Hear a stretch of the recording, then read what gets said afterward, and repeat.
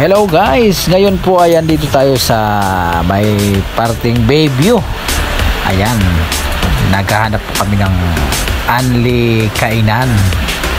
At ngayon po ay ang napili naming pwesto ay ang Tramway Bayview Buffet.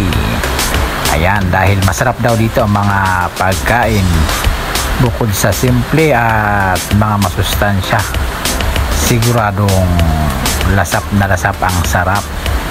Ayan guys, tara, samahan nyo po kami. Ayan. Ayan guys, para po mapadali ang iyong pag-order dito, dapat bago ang schedule po ng iyong ah, oras ng kainan, ayan, dapat po nagpapabook na po kayo para pagdating nyo ay automatic na kayong aasikasuhin. Kasi marami po talagang nakapila kung hindi ka magbubuk. Kaya marapat lang po na ah, book muna. Ayan guys.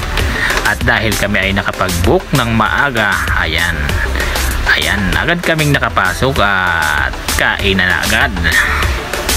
Ayan guys, kan kay, kay ganda ng lugar at ayan, kay linis, ayan.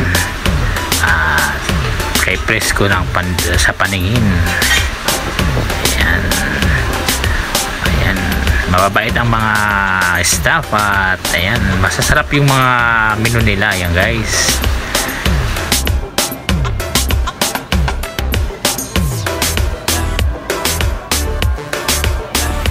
Tara, let's sa Tramway Bayview Buffet.